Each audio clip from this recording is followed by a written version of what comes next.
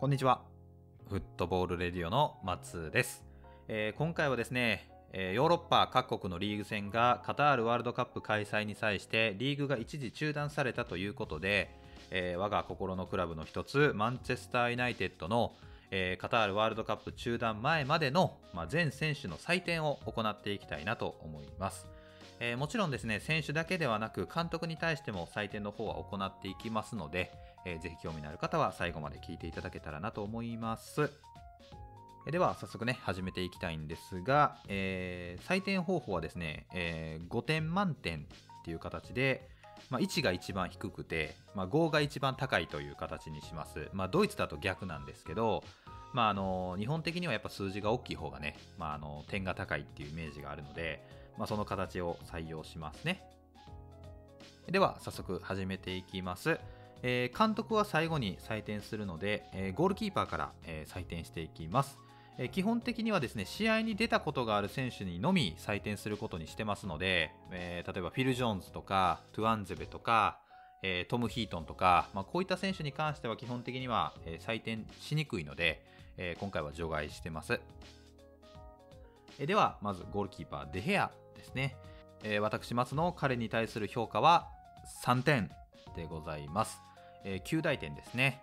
えー、まずなぜ9大点なのかと言いますともともと持ってる彼の能力彼の特徴って、まあ、皆さん何ですかって言われたらやっぱりシュートストップっていうところがねやっぱり彼の代名詞っていうところだと思うんですが、まあ、そこはしっかりと発揮してくれてます。なのでそこはやっぱちゃんと評価してあげなければならないんで、シュートストップっていう項目だけだったら、4点とか、まあ5点はちょっと言い過ぎかもしれないけれども、まあそれに近いようなね、採点を上げてもいいと思うんだけれども、やっぱり新たな時代を迎えているマンチェスター・ユナイテッドにとって今のデヘアっていう存在が、まあ、どういう影響を与えているかって言われたら確かにシュートストップ見事なものを提供してくれてると。ただやっぱりビルドアップのところとかやっぱり最終ラインからつないでいく形をあんまり作れないとかっていうところは、まあ、ユナイテッドの攻撃の形を一つ減らしているっていう形にもなってしまうんでやっぱりそこはやっぱ評価を落としてしまうというか僕的にはやっぱ採点を落とさざるを得ない。もちろんそこをうまくこう進化しようとしてきてくれているのは嬉しいし頑張ってくれるのはやっぱ嬉しいんだけれどもやっぱり年齢を重ねている分覚えるのもやっぱ時間がかかったりもするしやっぱりもともとそこを教わってきた選手ではないのでやっぱりこれからね新時代を迎えていくマンチェスターユナイテッドにとってデヘアの進化を待っている時間って多分そこまでないと思うんです。彼の年齢を考えてもね。でプラス、えー、間もなく始まるワールドカップの、まあ、スペイン代表で、えー、やっぱりユナイテッドでもちゃんと自分の持ってるシュートストップを見せてるけれどもルイス・エンリケが、まあ、彼を選ばなかった理由は間違いなく、まあ、キックのところと、まあ、守備範囲の広さとかね、えー、やっぱりそういったところがやっぱり気になって招聘されてないと思うしこれだけ活躍していたとしてもやっぱりディオゴ・コスタとかウナイ・シモンとか、まあ、ロベルト・サンチェスとかやっぱこういったタレントが獲得候補に上がってきているのはやっぱりその辺のパフォーマンスにやっぱり何かしらやっぱりまだ満足いってないっていうところが、まあ、現実的だと思うし、テンハグも、まあ、デヘアのパフォーマンスにはま満足はある程度してるでしょうけども、やっぱり長期的な選手護身としては多分考えてはいないので、あのもちろん今のパフォーマンスはね、しっかりとやってくれてるんで、まあ、あの2点とか1点になることは絶対ないなと。ただやっぱり4点っていう点数を上げるのは、やっぱりもうちょっとちゃんとパフォーマンス的にももっとレベルが上がってて、なんだったらもう今までのデヘアとは全く違うよみたいな印象を持たせてくれたら4点とかにねしてもよかったんですけれどもやっぱり自分の愛するチームだからこそちょっと厳しめに採点はしてます。はい、でえ次がドゥブラフカなんですけれどもあのマンチェスター・ユナイテッドに加入して1試合しか出てないんですよね。でも先ほど言った通り、まあ、試合に出てない選手は評価しづらいけど、まあ、試合に1回でも出た選手は評価するっていうことにしたんで、まあ、ドゥブラフカもやっぱ評価しないとダメだと。ただ、1試合しか出てないし、その試合も僕、あのちゃんとフルでちゃんと見れてないんで、まあ、あの評価もしづらいんだけど、まあ、基本的にそのまだまだパフォーマンスも見せきれてないと思うんで、まあ、低く見積もるのも失礼だし、高くも見積もれないんで、まあ、仕方なく3っていう形にしときます。もともとキックとかはね、結構できる選手なので、もっと使ってあげてもいいんじゃないかなと、個人的には思ってるんですが、まあ、多分テンハグからしたら何か気になるのか、まあ、あんま使わないですよね。まあ、デヘアに対する信頼なのかもしれないけれども、現状。まあでもドゥブラックはもっと使ってあげたらもっとはっきりとしたね、評価を与えられるんですけど、ちょっとまあ現状難しいですね。はい。で、え次、サイドバックですね。えー、まずはダロト、えー、評価は4を与えたいなと思います。えー、ちょっと厳しく見積もっても4なんですけど、あのー、正直言うとね、4.5とかでもおかしくないぐらい今季のダルトはすごいと思います。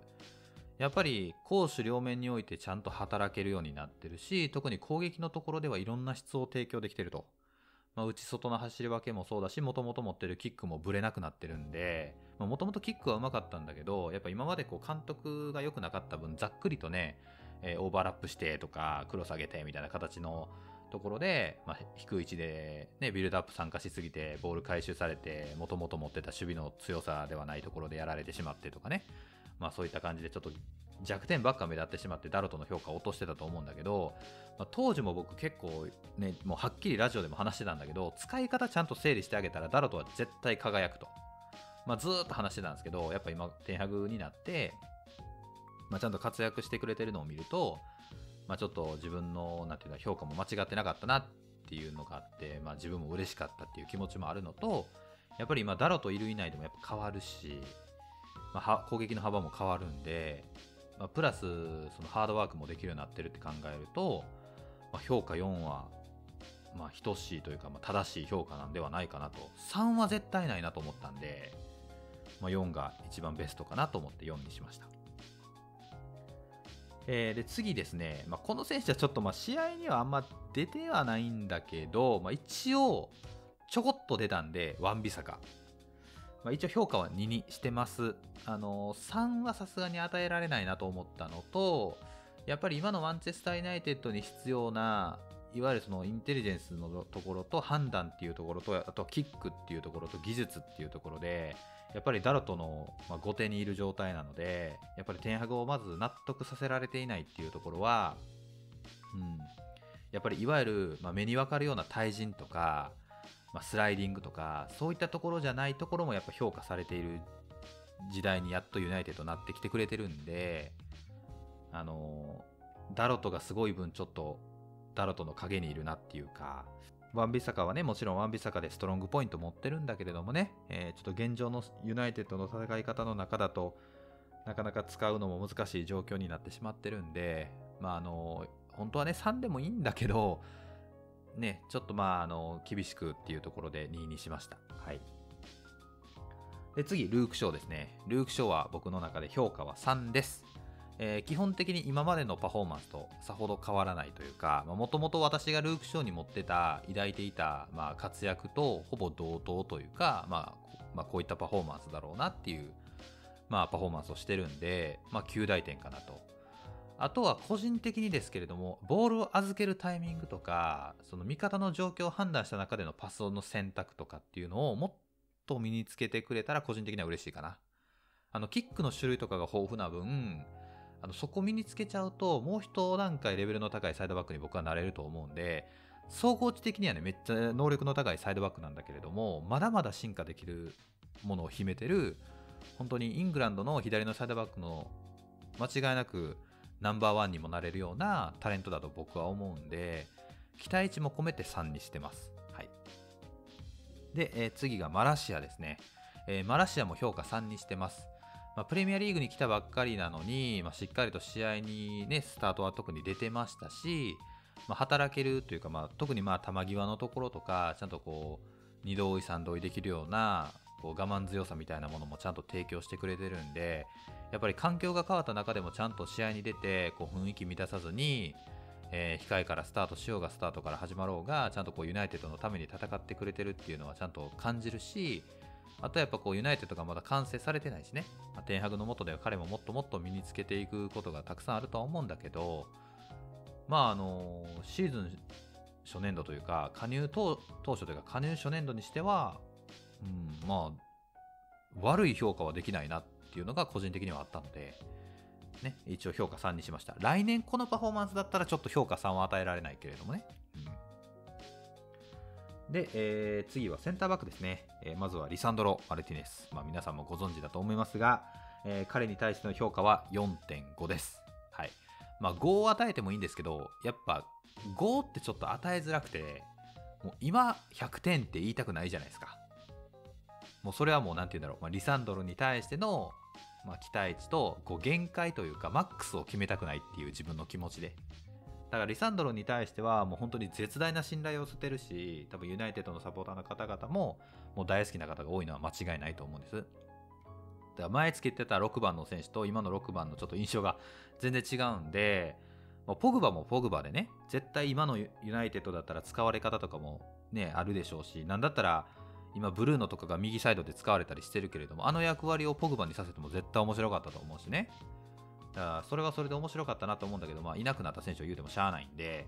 まあ、あのリサンドロ・マルティネスは本当に、えー、サポーターにも愛されてるしパフォーマンスも伴ってるし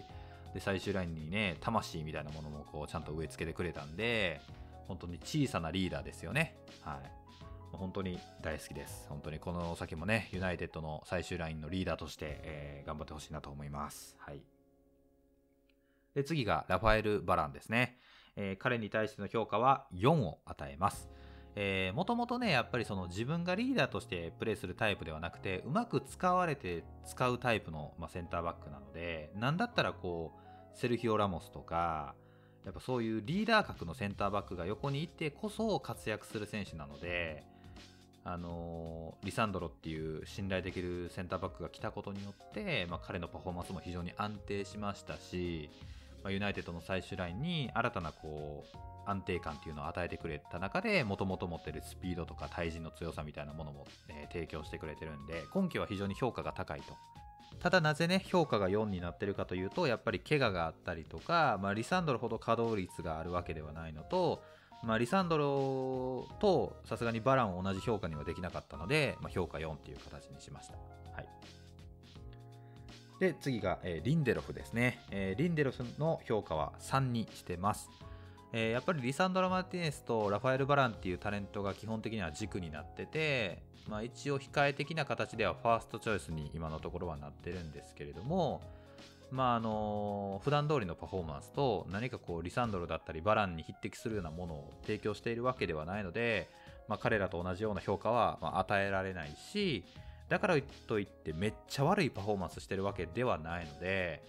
まあ、評価3ぐらいが妥当かなと、まあ、ちょっと厳しく言ったら2.5とかでもいいのかもしれないけれども。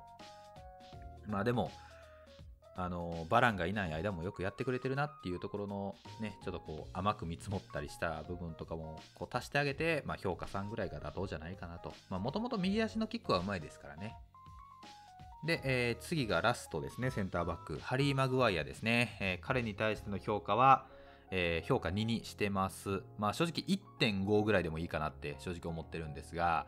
あのー、間違いなくですね、来季出されるかもしれないです。一番可能性高いです、今。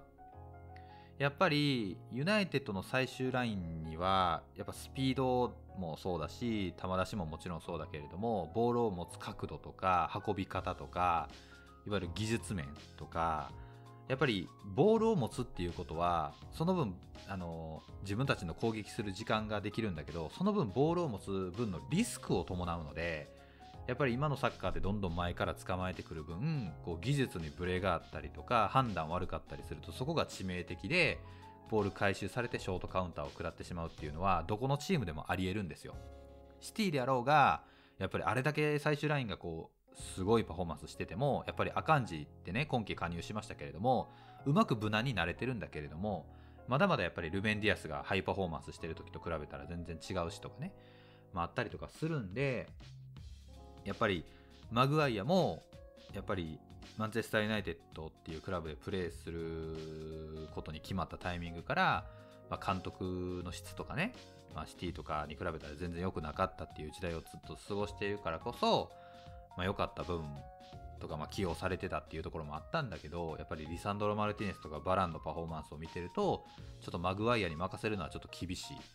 でマグワイアを使うのはちょっとリスクになりかねない。特に前から捕まえてくるようなチームになればなるほど。だからハイレベルな相手になればなるほどマグワイアを使うっていうことは本当にリスクになってしまうので、えー、やっぱり基本的には厳しいかなと、うん、あのー、まあ、テンハグもそうだと思うし、まあ、私もそうなんですけど現状やっぱ最終ラインの中で一番立場が弱くなってるのって多分マグワイアだと思うんですよ。だ今イングランド代表に呼ばれたりしてるけれども、ね、やっぱりこう、なんて言うんだろう、まあ、スールシャールとか、サウスゲートとか、なんかこういった監督には好かれるんだけど、やっぱりこう、いわゆる戦術家と呼ばれるような、まあ、優秀な監督からすると、ちょっとマグワイアはちょっとまあ、厳しいところはやっぱありますよね。うんまあ、もちろんマグワイアはキックのね、うまさとかももちろんあるし、味方のサポートをうまく作ってあげればいけるんだけど、マグワイアは1人でどうにかできるタイプじゃないんで、そこはやっぱでかいですかね。あと、やっぱね、ボールの運び方がやっぱ僕一番気になるんで、せめてここ直してくれないかなっていう、そう角度をつけすぎだったりとか、その読まれるんですよね、運ぶコースを。で、そこ限定されて、サイドに追い込まれて、ボール回収されて、ショートカウンター食らうっていうのがね、まあ、普通にあるんで、そこはちょっとどうにかしてもらわないと、起用するの怖いですよ、テンハグからしても。はい。で、えー、次は中盤ですね。まあ、トップ下と、まあ、ボランチ、すべて含めて話します。まずはエリクセン。えー、評価は4を与えます。まあ、当然ですよね。まあ、あのもともと不慣れなボランチの位置を、ね、今、主戦場として戦ってるけれども、やっぱりもともと持ってるその判断の能力、まあ、状況理解の速さと、そこで自分が行うべき行動の速さ、あとは味方をうまく使えるキックの質とか、ね、こうボールを持ったところもボールを持ってないところもやっぱりこう必要な行動っていうのを常に起こしてくれているので、まあ、もちろんそのフィジカルの強さみたいなところはね、まあ、ないんだけどでももともとそういうとこを特徴にしてきた選手じゃないじゃないですか。みんなそれぞれ個性があってそこを伸ばして生きてきた選手たちばっかりなのでエリクセンはエリクセンでこう不慣れなポジションで出たりしながらもちゃんとユナイテッドに貢献してくれてるんでやっぱりどうしてもこうスパーズ時代とかね得点を結構取ってるイメージもあるしアシストを結構残してるイメージがあるんで、まあ、同じ仕事をね、まあ、あの残してほしいって思う気持ちももちろんわかるんだけれども今出てる場所が全然違うんでね。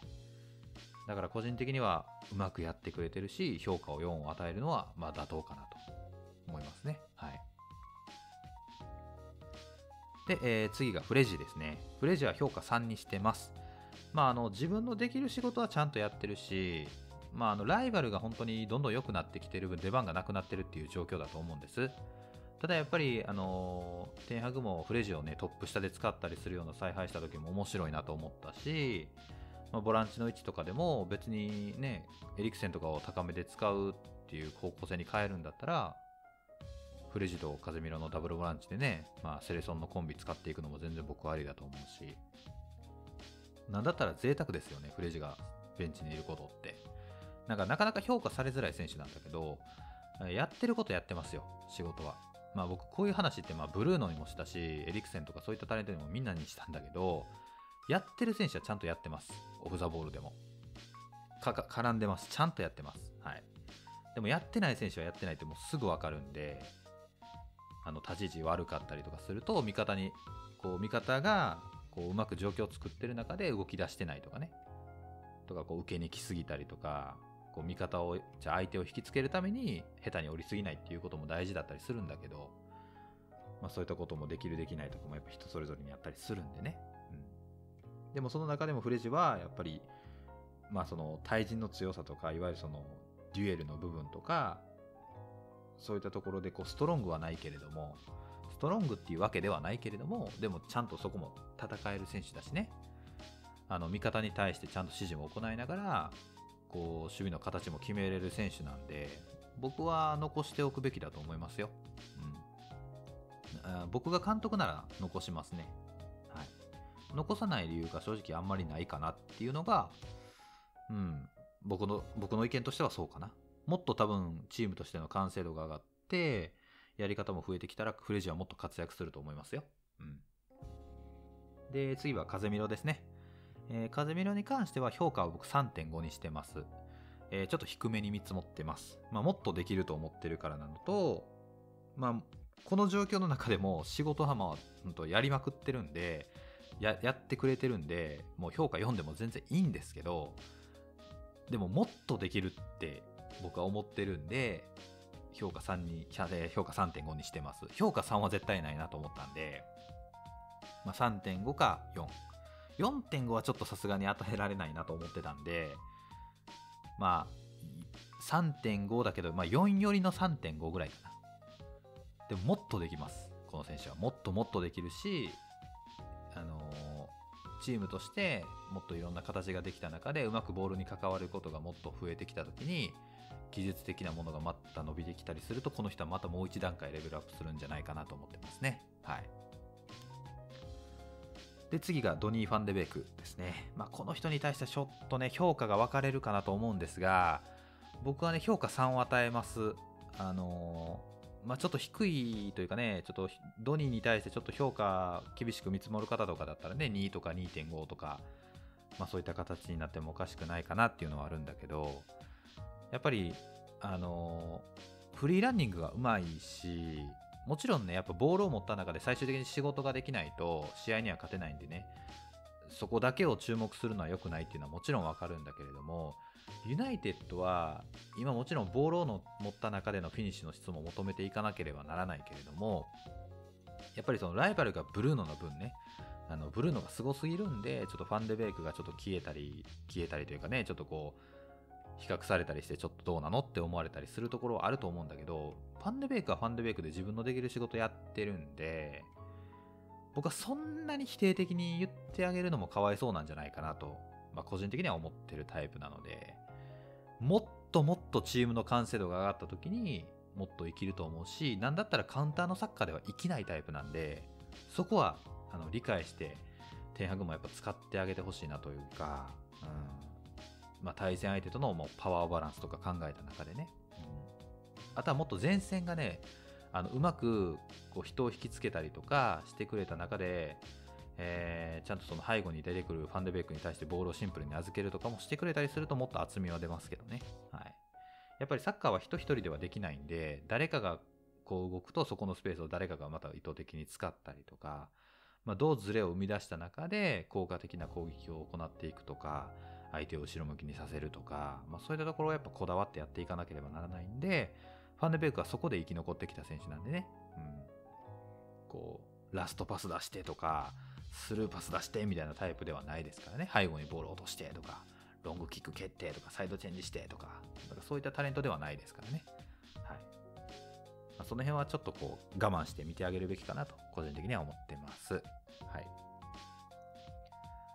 で、次が、えー、マクトミネーですね、えー、マクトミネーに対しては僕の評価は3を与えます。えー、マクトミネーはあの確かにあの例年に比べると良くなってるかなと思うしもともと持ってるそのフィジカルの強さとボールキープ力みたいなものは魅力的なんですけれどもあのこの話ねよくするんだけどマク・トミネーはね覚えれることもっと覚えたら多分もう世界でもトップクラスになってもおかしくないタレントになれる才能を秘めてると僕は思ってます。それはあの前にも話したけれども僕の大好きなレオン・ゴレツカという選手がいるんだけどもバイエル・ミュンヘンの。その選手のようになってほしいっていう気持ちがあるからやっぱり戦えて、まあ、戦えるじゃないですかもともとマクトミネって戦えるプラスいろんなところに顔を出せるようになってなおかつ守備の局面でも潰せてみたいな。その中にまた頭の地頭の良さというか、地頭の良さって言ったらあれだね、まあ、そのインテリジェンスレベルとか状え状況理解力みたいなものを身につけて適材適所にポジション取れるみたいなことになったら、この選手は本当に大化けすると思うし、本当に歴史に残るような選手になってもおかしくないかなと思います。本当に。そこを身につけるだけでも全然違う。でも、あの特に攻撃のところはちょっと顔を出せるようになってきてるんで、そこはいい傾向かなとただ5列かほどもっと気の使えるタイプじゃないしもっとこう重要な局面走り込めるタイプではないのでまあ本当に5列か見てほしいですね。マクトミネに。もうマクトミネが5列か見て5列かみたいになったらもう僕はもうバイルンとマンチェスター・ユナイテッドのサポーターだけどもう5列かマクトミネが大好きですって多分言えるんでね。はい。で、えー、次は中盤ラストですね、えー、ブルーノ・フェルナンデスですね。えー、彼に対しての評価は4にしています、えー、これはですねちょっと低く見積もってます彼のね、まあ、働きぶりっていうのは僕も常日頃からすごいっていうのは言ってるんだけれどももともと得点もできる選手じゃないですか、彼ってね。えー、加入当初ってまあそこも結果出してたんで、なんだったらそこもできるようになったら多分4.5とか5になっていくと思うんで、だから今の現状に満足するわけには僕はいかないなと思ったので評価4にしました。ただ、あの、仕事はめっちゃしてます。それはもう皆さんもご存知だと思いますが。もう本当にもうチームにとって欠かせない、えー、間違いなくもうキャプテンマークを彼に任せた方がいいんじゃないかなと、まあ、個人的には思ってるぐらい本当に素晴らしい選手です。はいえー、そして次はワイドですね、えー、左右ですね、えー、まずは3丁、え個人的な評価は2.5にしてます。ちょっと低いかなって思う方もいらっしゃると思うんですが、えまずですね、まあ、彼の持ってる特徴っていうのは幅を持ったところからの仕掛けと中央に入ったところでのフィニッシュワークっていうところだと思うんだけどもともとやっぱボールプレーヤーなんですよこの選手って。ドルトムント時代からそうだったんだけどこう裏の駆け引きとかめちゃめちゃうまいタイプではないしなんだったらこうハイライトとかではすごくこう結果を出してるように見せるタイプなんだけどもこう90分通してみると、まあ、結構やっぱ守備の局面でちゃんと戻りきれてなかったりとかシンプルに味方使ったらいいところなのに自分のそのドリブルだったりとかボールプレーで、まあ、フェイントとかで逆に時間作ってしまうとか相手にちょっとこうブロックを組まれるような時間を作ってしまうとか、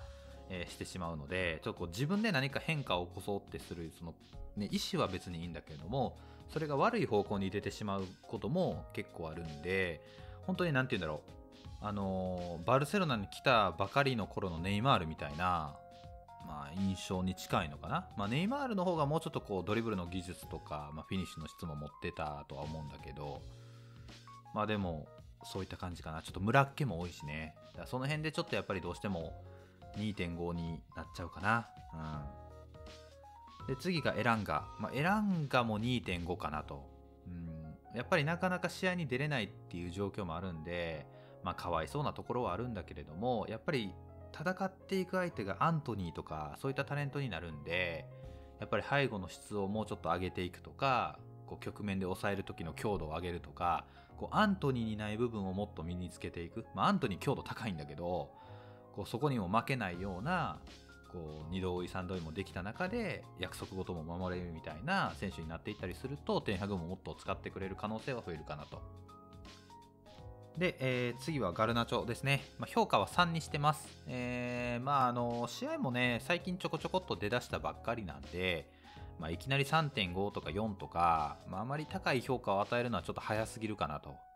まずは試合に出たことを評価するっていうところで、まあ、9大点の3っていうところを与えて、まあ、結果もね、出してるし、まあ、あの、仕掛けの形とかもちゃんと持ってるし、ドリブルの運びもうまいんで、そこはちゃんと評価してあげなければならないんだけれども、あのやっぱりシーズン序盤からしっかりとコンスタントに出て、まあ、彼はやっぱちゃんと評価していきたいっていう、まあ、期待値も込めてね、まあ、思ってる選手ですし、なんだったら僕、今、ワイドの選手の中で一番期待値持ってる選手なので、まあ、この選手がやっぱりうまく成長していってほしいっていうのもあるんで、今、あまり高い評価を与えすぎるのは、ちょっとあれなのかなと思って、もちろん期待はしてるし、ちゃんとやってくれてるんだよ。やってくれてるんですが、まあ、今は3にしておきましょうよっていう感じでね。はい。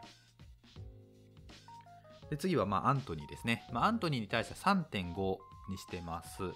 まあ、あの3以上はあるだろうなっていうところと、まあ、直近はねちょっとまあ試合に出てなかったりとか怪我かな？なんかあったりとかしてもちょっと出れなかったりしてるんだけどもやっぱり幅取ったところからの仕掛けと守備の強度とかとか、まあ、約束事はちゃんと守れるんで、まあ、いい選手ですよ、うん、まあ多分まあガルナチョはね、まあ、これからっていうタイプだけれども、まあ、間違いなく今サイドの中で一番仕事もできるタイプは攻守において仕事できるのは多分アントニーなんでやっぱり直近の試合とかでもアントニーの不在結構感じるんでねやっぱアントニーは早く戻ってきてほしいなっていうのも感じるぐらいやっぱ優秀なんでまあ3.5かなうん、4はちょっとまだ早いかな。まあ、4を与えてもいいのかもしれないけど、まあ、3.5ぐらい5ぐらいがまあ妥当じゃないかなってまあ、個人的には思いますけどね。はい。で、えー、次はフォワードですね。えー、フォワードは、えー、マルシャルからいきます。マルシャルは2.5にしてます。ちょっと低いかな。皆さんからしてもちょっと低いって思う方いらっしゃるかな。なぜ、えー、2.5にしているのかと言いますと、必要な時にいないから ですね。はい。あのー、やっぱりラッシュフォードも後ほど紹介するロナウドもねちょっと今季良くないと。ほんで、仕事もちょっと任せづらいしっていうところで、一番まだポストが安定するタイプって多分マルシャルだと思うんですね。低めに降りて、ちゃんと味方行かせるタイプって多分マルシャルだと思うんです。だから、マルシャルも怪我せずにいてくれたりしたら、まあ、怪我しゃあないんですけどね、しゃあないんだけど、今一番自分が出れるタイミングになった時にいつもいないっていうことが多いので、なんかちょっとこう、いつもなんかいないなっていうことがあるんで、やっぱ2.5にしてるのと、あとやっぱ試合に出ても、もちろんそこはね、えー、ロナウドとかラッシュフォードに比べてできるんだけど、やっぱオフサボールの質はまだまだ上げないとダメなところはあるんで、だから4とか3.5にはできないんですよ、僕。あの、マルシャルに対してまだ。まあ3は与えてもいいぐらいだと思うんだけど、まあ本当大事な時にいないんでまあ2.5ぐらいでいいかなと思って、まあこれぐらいにしました。で、えー、次はラッシュフォードですね。ラッシュフォードは3にしてます。まあ、マルシャルに比べて試合は出てるっていうところで0.5、えー、上積みしてるっていう感じですね。まあ、オフ・ザ・ボールは皆さんもご存知の通り良くないです。はいまあ、ちょっとずつね、こう前向きな姿勢とか学ぼうとしてる姿勢は見えるんだけど、まだまだ足りない。まだまだ足りない。もっと上げないと生き残れない。本当にレベルが高ければ高くなるほど相手が本当そこ持ってる選手が多いんで、はい。あのー、キックのインパクトとかね、スピード持ってるのはわかるんだけど、そこも身につけちゃったら本当にもう一段階レベルアップできるんで、はいまあ、今の段階で結果を出してるからとて4とかその辺の評価を与えるのは時期的にちょっと早いのかなっていうのはやっぱ思うんでね。はい。で、えー、最後、クリスティアーノ・ロナウドですね、えー、評価は2にしてます。ちょっと低いですが、やっぱりですね、あのもともと彼に期待している得点力っていうのがやっぱ影を潜めているということと、やっぱりシーズン序盤からコンディションを、まあ、整えていない状況の中で参加したのにもかかわらず、まあ、ちょっと試合の出場時間を求めるような、えー、まあ、なんていうんだろう、まあ、行動が多かったりとか、で特に直近あったね、あの例の発言があったりとかしたので、ちょっと印象も悪いし、うん、まああの、はっきり言うとね、まあこの先ユナイテッドにはもう必要のないタレントになってしまったのかなっていうのはありますね。あの今までのねロナウドでこういう発言をしないとかだったら別に全然いいんだけどやっぱりチームの士気を落とすようになってしまうとさすがにどんな選手であったとしてもちょっと僕は使いたいとは思わないんで、うん、サポーターの一人としてもちょっと、うん、あの発言がなくてねこうベンチからでもちゃんと頑張ってくれてるんだったらね受け入れてくれてる中でとかだったら3とか3.5とかでもいいかなと思ったんだけど、うん、ちょっと印象が悪いことが多すぎるんですよね、今季。だからまあ2.5かな。だからピッチないっていうよりもピッチ外の方がちょっと印象悪すぎるんで、そこでちょっと点数的にもちょっと落ちたかなっていう感じですかね。はい。ということで、まあ、これで選手的には以上かな。まあ、試合に出てない選手を除外すると多分以上になると思います。うんでまあ、最後に、ま監督に対しての評価ですが、えー、3.5にしてます、えー、一応4よりの3.5って感じですね。まあ、うまくちゃんと改革を始めてくれてるし、えー、選手たちもうまく、えー、成長してきていると思うので、